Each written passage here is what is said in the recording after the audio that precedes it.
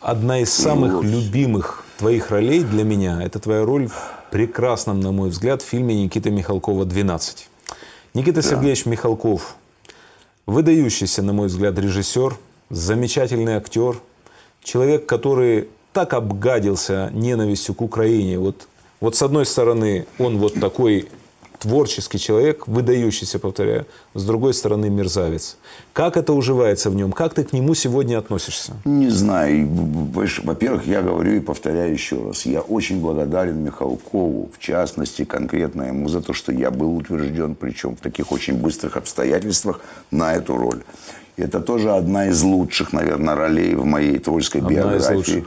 Это большое счастье сниматься с этими актерами, с которыми мне судьба подарила сесть в кадре. И не забывай, Михалков для нас, для моего поколения, это лучший режиссер вот всей юности, молодости. Да. И это мечты всех актеров попасть да. когда-нибудь в кино к Михалкову. И моя мечта моей юности, она случилась со мной. Мало того, он позволил, я тебе это рассказывал, позволил нам каждому сделать огромные импровизационные куски. Ты же импровизировал, куски. твой кусок, Про... весь импровизация да. была. Но да? если бы Михалков не разрешил, этого бы не было.